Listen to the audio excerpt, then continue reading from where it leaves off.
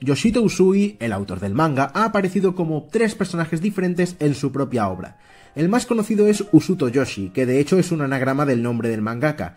Este autor de 44 años ha aparecido en varias ocasiones, como en el viaje de los Noara a España, y suele fingir estar enfermo o no estar en casa cada vez que llega tarde a una entrega de manga. En la película de En busca de las bolas perdidas aparece cantando música tradicional japonés en el fragmento en el que creo que estaban en un balneario o algo así.